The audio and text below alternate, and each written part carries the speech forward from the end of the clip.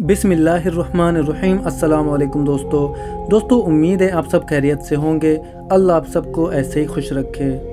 दोस्तों, आज जो वीडियो हम आपके लिए लाए हैं, ये एक ऐसी खातून की वीडियो है जो पहले जिसम फरोश हुआ करती थी, लेकिन फिर इन्होंने अपने शादी के ही दिन इस्लाम को कबूल कर लिया। दोस्तों, ये वीडियो इंटरनेट पर बहुत ज़्यादा वायरल है और ये वीडियो इंग्लिश ज़ुबान में है, लेकिन हम पहली बार आपके लिए इस वीडियो को उर्दू ज़ुबान में ट्रांसलेट करके आपके लिए पेश करने जा रहे हैं। दोस्तों, अगर मुझसे ट्रांसलेशन में कोई मिस्टेक हुई हो तो मैं माजरत चाहता हूँ। और आपको इस वीडियो की ओरिजिनल लिंक डिस्क्रिप्शन में मिल जाएगी। आप इस वीडियो को इंग्लिश में भी देख सकते हैं। और आगे बढ़ने से पहले आपसे बता दें कि अगर आपको इसी तरह की वीडियोस देखना पसंद है तो हमारे चैनल को सब्सक्राइब कर दें और पास ही में बने बेल आइकन को भी दबा दें, ताकि हमारी आने वाली वीडियोस की नोटिफिकेशन आपको सबसे पहले मिल सके।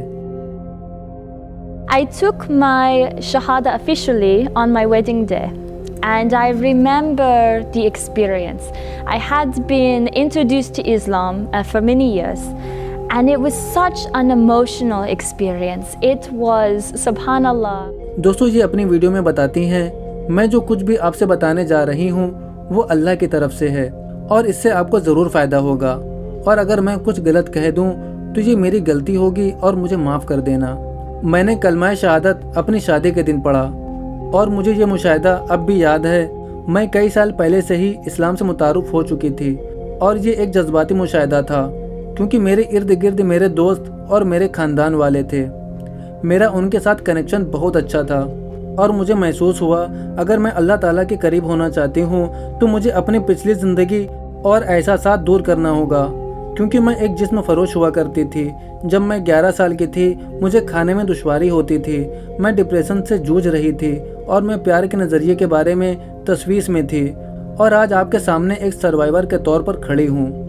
मैं इस्लाम के राह पर अकेली निकली थी और मेरा रास्ता भी पूरी तरह से तनहा था और मैं बिल्कुल अकेली थी, क्योंकि मैं अपनी पिछली तर्ज ज़िंदगी और पुराने दोस्तों के साथ रहकर नहीं चल सकती थी, लेकिन मैं नए लोगों से भी दोस्ती नहीं कर पा रही थी, क्योंकि मुझे इस बात पर शर्म आती थी कि मैं कहाँ से आई हूँ और मैं कहाँ रहती थी और किस तरह मैंने अपनी ज़िंदगी गुजारी। लेकिन मैं ऐसा नहीं कर सकती थी। इस कम्युनिटी से दूर नहीं जाना चाहती थी। इसके बाद मैंने फैसला किया कि मैं अपनी कहानी लिखूँगी। मैं अपनी कहानी शेयर करूँगी। तो हो सकता है किसी को इससे फ़ायदा मिले। मैं चुप ही रहना चाहती थी, क्योंकि मैं डरती थी कि लोग क्या कहेंगे मेरे बारे में। लेकिन अपने कबूल इस्लाम की कहानी शेयर करने के बाद मुझे लोगों का फीडबैक मिला। मुझे लोगों की मुस्बत और मनफी राय मिली। पहली चीज़ जिसने मुझे हैरान किया, वो ये कि किसी ने मुझसे नहीं पूछा कि मैं पहले कैसी थी। किसी ने ये नहीं पूछा कि क्या मुझे अब भी वही मुश्किलात हैं। दूसरी चीज़ जिसने मुझे हैरान किया, वो ये कि मुझे अब भी ईमेल्स आते हैं और मुझे बहुत सारे ईमेल्स उन मुसलमान खातन के जानब से आते हैं जो इस्लाम में पैदा हुई या जिन्होंने इस्लाम को कबूल किया हुआ है। वो भी उन मुश्किलों का सामना कर रही हैं जिससे मैं गुजर चुकी हूँ। अकेलापन और तन्हाई महसूस करने का एहसास कि कोई नहीं है जो उनके साथ बात करे।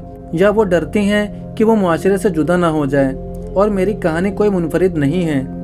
मेरी तरह लाखों खुवान का यही हाल है। इनको अब भी ये तमाम मसाइल हैं जो मुझे हुआ करते थे।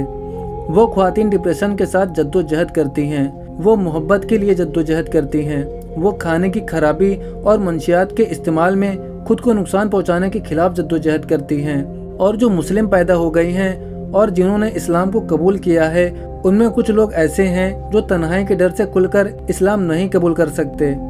जब हम सोचते हैं तो हम तरक्की करने के काबिल होते हैं। हम तभी आगे बढ़ सकते हैं, जब हम देख सकें कि हम कहाँ से आए हैं और कहाँ जाना चाहते हैं। और सिर्फ़ इसी तरीके से हम सही मानों में कामयाब हो सकते हैं। और यही हमारे मसाइल का हल है। We are able to grow when we reflect. We are able to grow when we are able to see this transformation, to be documenting where we came from to where we want to go. And only through this way can we truly grow. दोस्तों उम्मीद है आपको ये video पसंद आई होगी video पसंद आई हो तो वीडियो को लाइक करें अपने दोस्तों के साथ इसे शेयर करें आपकी क्या राय है इस बहन से मुतालिक हमें कमेंट करके ज़रूर बताएं अपना बहुत सारा ख्याल रखें अस्सलाम वालेकुम वरहमतुल्लाहि वबरकातुहू